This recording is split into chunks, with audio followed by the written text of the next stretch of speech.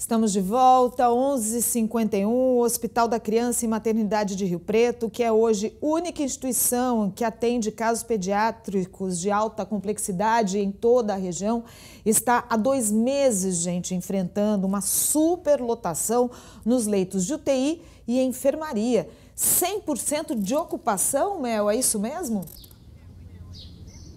Andréia, infelizmente a situação é ainda um pouco pior, viu? Na UTI pediátrica são 20 leitos disponíveis, os 20 estão ocupados, ou seja, 100% de ocupação, mas na enfermaria são 45 leitos disponíveis e hoje 47 crianças estão internadas, ou seja, a taxa de ocupação de leitos passa aí de 100%. Com, essa, com esse cenário, o hospital trabalha hoje então em plano de contingência. Isso se arrasta já há dois meses, como você disse. Em outubro, a direção da Funfarm, que é responsável pelo hospital, disse que tentaria, junto à Secretaria de Estado da Saúde, abrir aí mais 10 leitos, o que não aconteceu. Naquela época, a gente noticiou, trouxe aqui no SBT Interior, que o que estava é, fazendo essa grande ocupação de leitos era principalmente por conta de doenças respiratórias. De acordo com o hospital, este cenário continuou o mesmo. Boa parte das crianças que estão hoje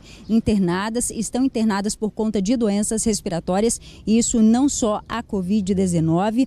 E a gente sabe, não é? O Hospital da Criança e Maternidade é referência aqui na região, ou seja, ele atende a crianças de mais mais de 100 cidades. É, cenário realmente que preocupa, deixa a todos em sinal de alerta e não é de hoje, não é, Andréia? É complicado, hein, Mel? Então vamos torcer aí para que consigam aí novos leitos, né? Que essa situação seja revertida. Vamos aguardar qualquer novidade, você conta pra gente. Obrigada, viu, Mel, por enquanto. E falando em saúde, o preço dos medicamentos subiu 13% este ano. O índice está acima da inflação acumulada nos últimos 12 meses. Os genéricos e similares são alternativas mais econômicas, mas é preciso atenção com o uso adequado, principalmente em tratamentos prolongados.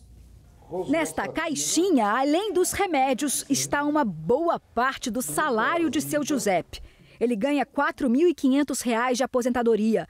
1.400 são gastos só com os medicamentos.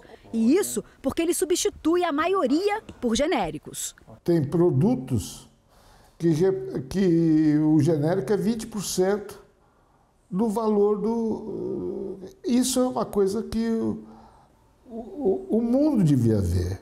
Foi a decisão de muitos brasileiros com a alta dos remédios nos últimos 12 meses. O aumento do uso de genéricos foi de quase 9%. Já a procura por similares cresceu 20%. Entre dezembro de 2021 e novembro deste ano, foram comercializados quase 2 bilhões de caixas de medicamentos genéricos. Atualmente, esse tipo de remédio corresponde a 35% do total de medicamentos vendidos no país. Mas na hora de substituir o de marca pelo genérico ou similar, o paciente deve ficar atento. E os médicos explicam por quê. Esta cardiologista diz que o genérico precisa ser autorizado pela Agência Nacional de Vigilância Sanitária e idêntico ao remédio de referência. A embalagem tem que ser igual, a validade, a função, tudo, a forma, tudo igual. Com os similares, a atenção deve ser ainda maior. Quando eu falo de similar, eu quero dizer que ele tem função semelhante, mas que não necessariamente tem que ter o mesmo prazo de validade, a mesma forma, o mesmo jeito. E é aí que tem o problema. Hoje, seu Giuseppe gasta menos com o tratamento, mas não economiza na consulta médica, principalmente quando precisa trocar um remédio por outro. Eu acho é, que todas as pessoas que têm os problemas que eu tenho, têm médicos que os acompanho. E esses médicos que ele entende a balizada, eles devem ser consultados antes de eventual substituição.